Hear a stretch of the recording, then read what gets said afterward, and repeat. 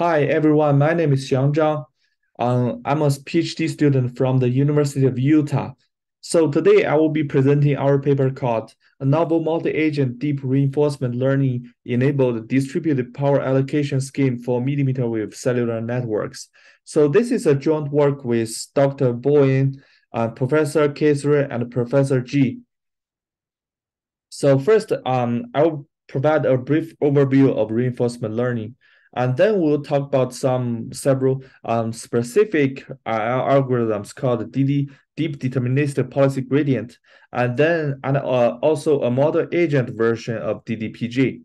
Then we propose a distributed version of MADDPG, and then we finally we present the proposed power allocation scheme.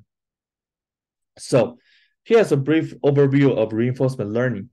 So um, in reinforcement learning, uh, agent agent interact with the environment by making actions based on the state or observation of the environment. When after it make it, uh, makes actions, it receives rewards, which implies how good the action is. So the basic math uh, under the reinforcement learning is called Markov decision process. So MDP can be represented by a quadruple ASRT. Here, A is the action space, and S is a state space or observation space. R here is a reward function, and T is a prob is a state transition probability function. So an experience is just a quadruple of the current state, action, reward, and the next state. Okay, a policy mu is, is just a function that maps the state to a specific action. So our goal is to find a policy that maximizes the accumulated reward uh, of the agent through time. So the Q function here, um, given a specific state and action pair, I say is defined as, as this here, shown in this equation. So we can see, so here, remember that R here is just the reward, uh, reward at time T. So we can see that Q, I say, is just the um, weighted sum of the reward over time if the agent starts from a specific action and state pair S and A here. So gamma here is called discount factor, which kind of implies how important uh, the reward is in the near and far future. So our objective is to uh, maximize the total accumulated reward, as I have said previously. So the objective function G here is just defined as expected uh, Q function over all possible states. So here, rho mu here is the stationary uh, state distribution of the MDP if we follow a specific policy mu. So our goal is to maximize this objective function. So deterministic policy gradient or DPG for short is a popular algorithm that uses a deterministic policy. A deterministic policy just means that, okay, each state will be mapped to a specific action with prob probability one. So usually um, the, the uh, policy will be parameterized by a parameter theta. And then in order to optimize the objective function, we can use gradient ascent to opt to find the optimal parameter. So alpha here is just a learning rate. Okay, deep DPG is a new algorithm that utilizes the power of deep neural nets. So it replaces, uh, represents the uh, the policy, or sometimes it's also called actor and the Q function, which is also uh, uh sometimes referred to as critic uh, so DDPG actually uses deep neural nets to represent the actor and the critic. Okay, so in this case, so the theta, parameter theta will just be the weights and biases of the deep neural nets. Okay, uh, this is just the, uh, the basic architecture of DDPG. So the actor uh, which is the uh, which is a policy will be represented by a neural network with which uh, with weights denoted by theta mu, and the critic is uh, represented by another deep neural net with weights theta q. So we can see the input. There's only one input, which which is a state to the actor, and it then it outputs the action. Okay, but for critic network, it has two inputs, which is uh, state and action, and then it outputs the Q function here. So uh, in order to train the actor and critic networks, two tricks are usually used. The first is called experience replay buffer. Okay, remember when I said the experience is just a quadruple of an agent, right? So the experience replay buffer, which is a buffer that stores all the past experiences uh, uh, uh, for that agent.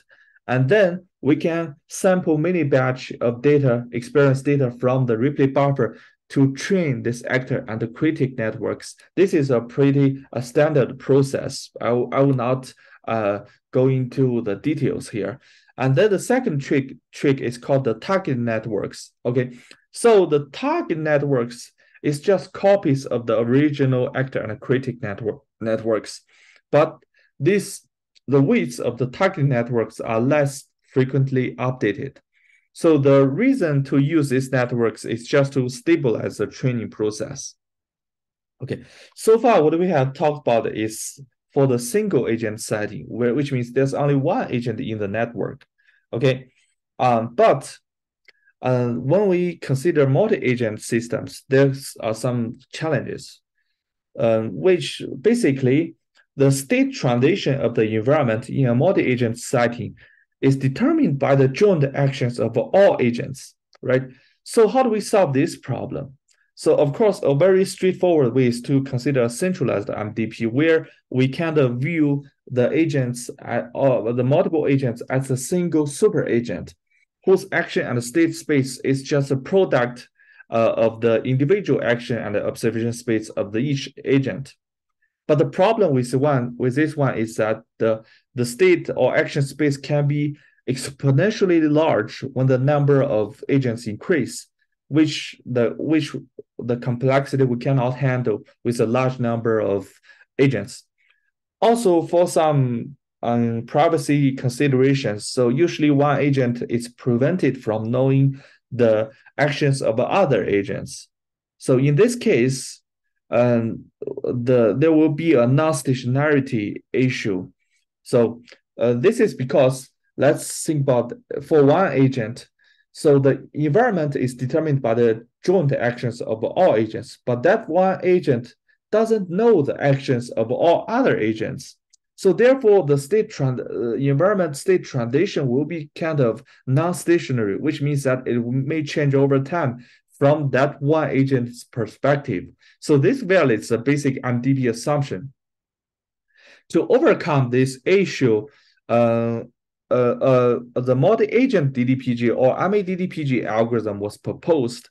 The key insight of MADDPG is that the local environment seen by each agent will be stationary if other agents' actions are fixed. So no matter what kind of policy, policies are used by them.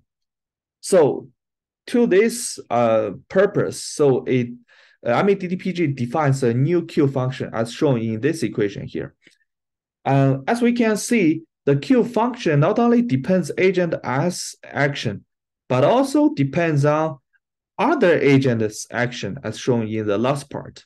So in this case, the agent will needs to know each agent will needs to know need to know the other agent's actions. So usually um, in a multi-agent setting, the global state S usually consists of multiple observations from each agent. Okay, and so the, the Q function defined in the MADDPG requires the knowledge of the actions of other agents. So therefore, uh, they use a centralized training distributed execution or CTD framework to do this. Okay, so the actor and critics are trained in a centralized manner, which means that there's a replay buffer that collects the experience of all different agents and put the put it put the data together. And then each agent will grab some data from the centralized replay buffer and then train its own actor and critic networks. Of course, this will um, increase some communication overhead. So, but the actions are made distributedly.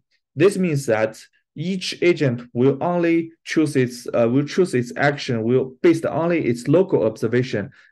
OI here as shown in this equation.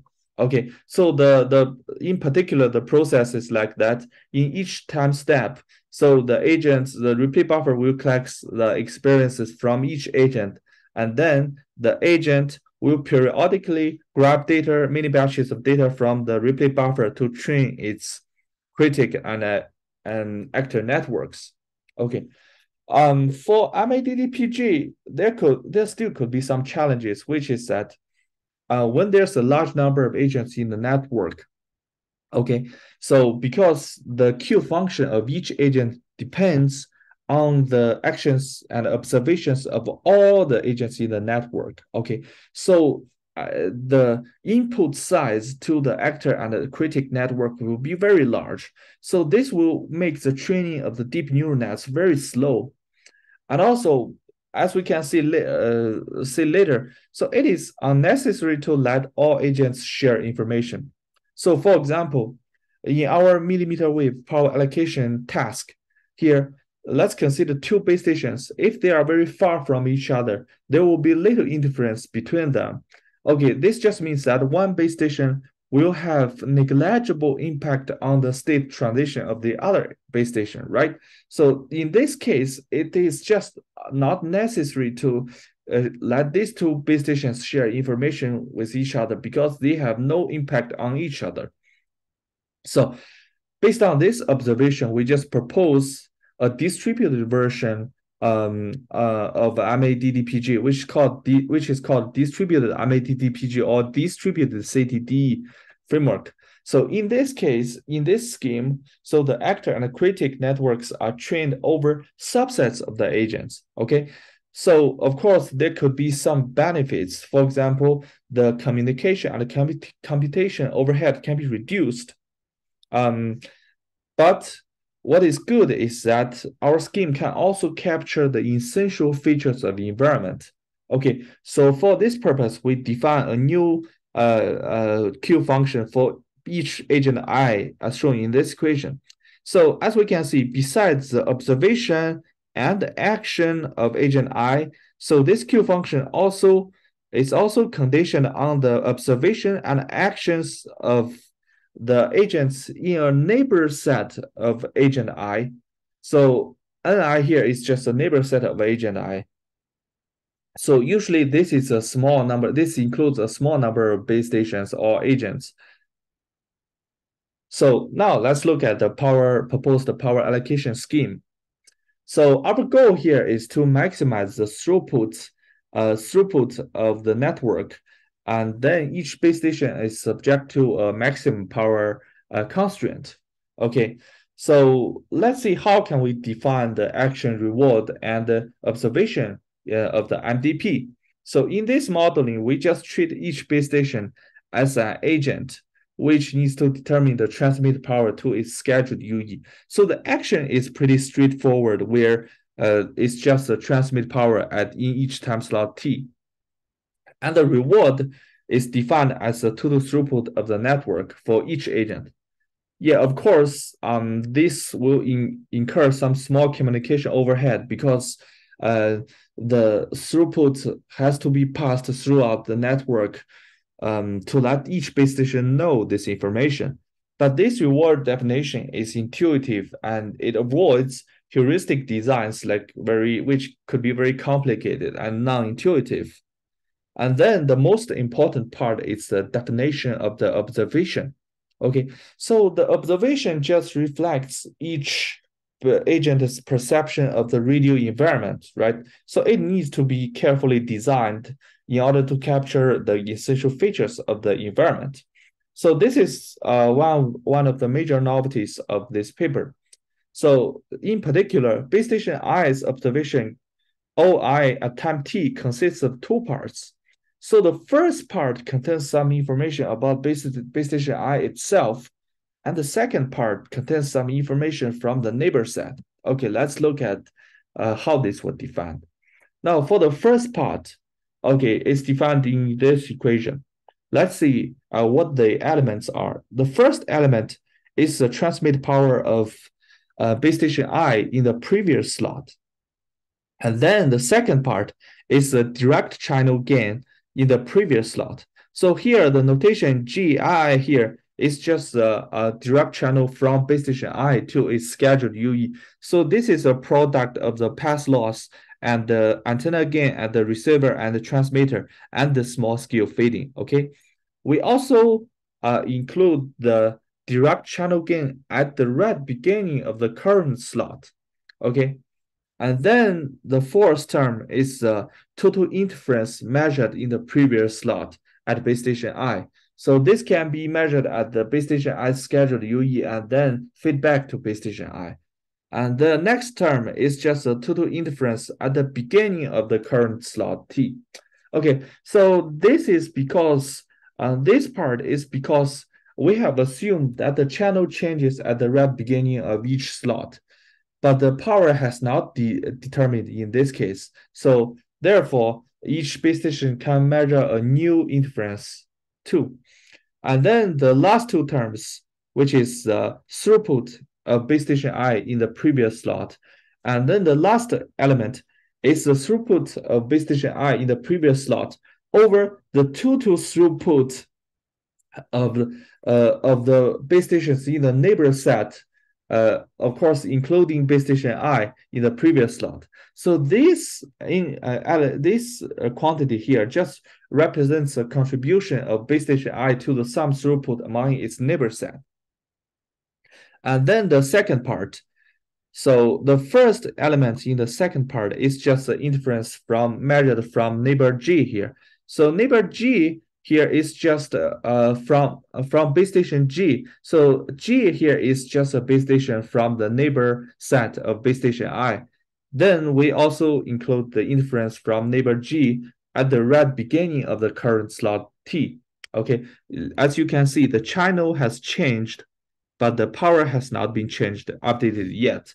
Then we also include the throughput of base station G. As we can see, the first two entries here can be directly measured at base station I, but this throughput term has to be transmitted from base station J to base station I. Of course, this will incur some uh, if, uh, some communication overhead, but as long as the size of the neighbor set is fixed, so this information exchange overhead doesn't scale with the number of total number of agents in the network, which makes our scheme scalable. And now let's look at the experiments. So we implemented our proposed scheme with PyTorch. So the actor and the critic networks all have uh, same sizes, which contains three hidden layers, which contains 200, 150 neurons at each layer respectively. So the neighbor set of each, each base station is just chosen as the six closest base stations. So other parameters of this experiment is shown in this table. So we compare our scheme with two baseline scheme, which is called uh, weighted minimum mean square error scheme and the fractional pro, uh, programming scheme. So these two are both centralized and state-of-the-art schemes for power allocation. So both of these schemes requires uh, perfect no knowledge of the all the channels in the network. So in each slot, we run 2,000 iterations for these two schemes to obtain a stationary power allocation. So we first uh, experiment with a base station with with a, a network with four base stations. So here, um, uh, each base station is associated with three UEs, but only one UE is scheduled at a time. So UEGI just means uh, denotes uh, G's UE of base station I. So we have three different configurations, which reflects different interference conditions. For example, in the first uh, con uh, configuration, when the zeros UEs of each base station is scheduled, we see that the beams are overlapped in this case, which means there's very strong interference among base stations. And then we, when the second UEs are scheduled, uh, the beams kind of kind of more spread out, this which represents a weaker interference scenario. Then, for the purpose of testing, we consider uh, an, uh, an omnidirectional case where the antennas are omnidirectional. So when the first UEs are scheduled.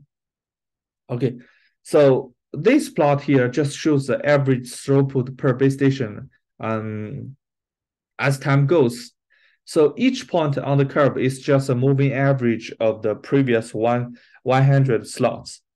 So here, this purple curve is our proposed scheme. And then this yellow curve is WMSE. And then the top, uh, the blue curve at the top is FP. We also have the random power allocation and the full power maximum power allocation. We can see that our um, scheme actually converges in around 40,000 slots and achieves higher throughput than the both baselines. Okay, here. So the reason that our scheme goes from low to high is that the use of the exploration noise.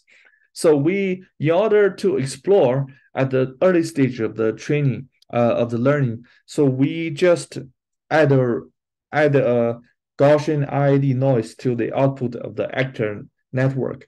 So, but the, that Gaussian noise has zero mean, but the variance will be decreasing over time. When there's a good solution, a power allocation is found by the algorithm, so the variance will decrease to very small number until to zero. This also explains why there's less fluctuations as the uh, as time goes for the proposed scheme. And then this is the uh, results for the other two configurations we can see that our scheme actually achieves better, uh, still achieves better performance than the two baselines.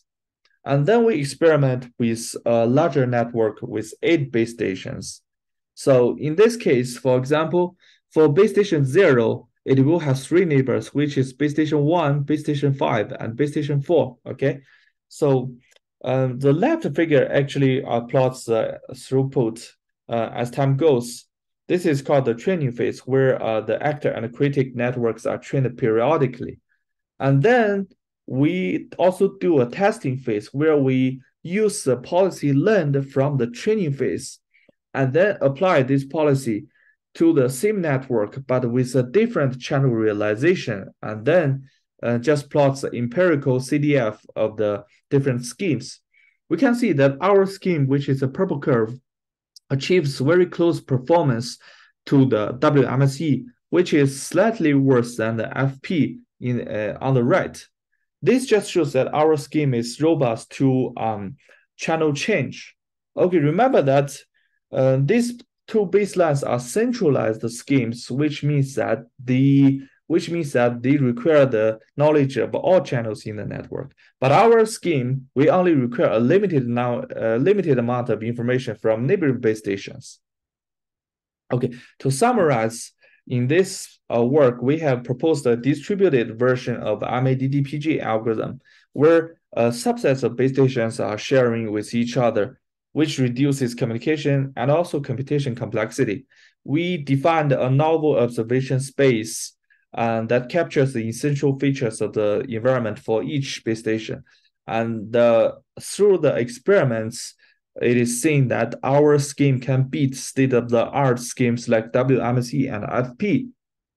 Okay, thank you. Any questions?